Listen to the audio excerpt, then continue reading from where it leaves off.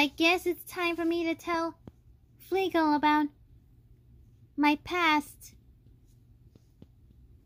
oh, hey, Bluebell. Hey, Fleegle. What's wrong?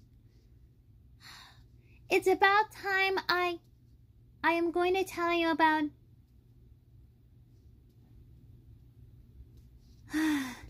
the truth. What kind of truth? It's about my eye. It's got a scar. A scar? How did that happen?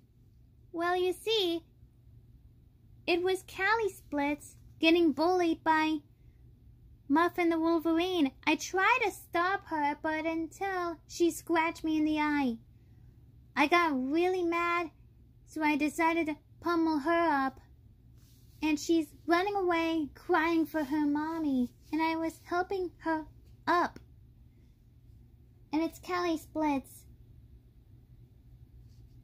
So I had to put on these sunglasses for protection of my eyes and I need to hide my scar from you.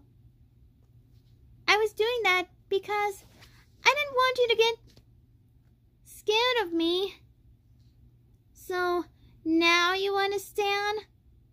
Oh, I understand. You were being brave out there. So, you got a scar in your eye, huh? Oh, hey, Stinky. Hey, guys. Yeah. I got a scar in my eye. So, yeah. That's the truth about my scar in my eye.